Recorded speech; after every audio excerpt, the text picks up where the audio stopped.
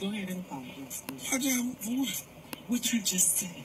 I wouldn't, I wouldn't talk about the city of Flint. I would talk about him. I want him, See, I want him, him to Flint. I want him, you know. I'm telling you, that's comedian. That's all right. Uh, So you sit there and right. That's wow. one. I know. You made that shot. When you sitting there, All right. you gonna call that Uh-uh, you uh-uh. don't deserve Don't that. He on explain that baby and all that silver water. Hey, hey, hey, hey! All right, line. Uh, we're we're moving on. We really are. we're moving on right now. Let's go to Benita. Hey, hold on, hold on. Just one more thing. What was his name?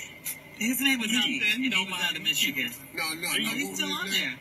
D. Okay, Oh, he's still there. Yeah. okay, dude.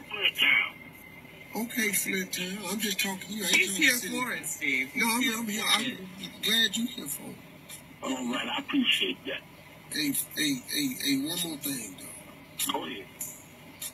Enjoy your nice brown glass of water. Oh, God! Tell you, man. D, on behalf of the Steve Harvey Morning Show and Steve Harvey in particular, we apologize. Okay.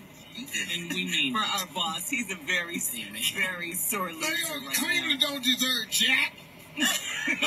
me. Hey, D man, give me some skin. You know what I'm saying?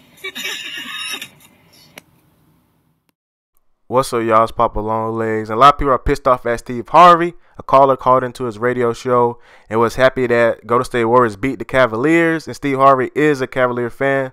So Steve Harvey went in on that dude. He told the dude when the last time you touched water without lead being into it. That was crazy right there. Then he told the dude have a nice glass of brown water. And that's crazy, man. You know, Steve Harvey's a comedian, but he took it too far right there. You know, Flint, Michigan crisis is really bad out there. A lot of poor black people out there can't have no water. A lot of people been donating water to them for the last year. But I wonder how you guys feel about it. What you think Steve gonna do about this, man?